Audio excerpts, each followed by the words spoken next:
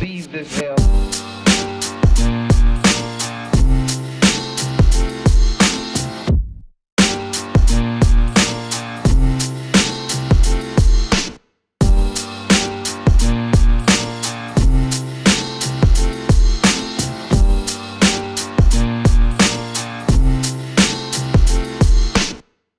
When you study people who have been harmed and discover the source of their injury, the source of all of their defects, and you begin to point out that source,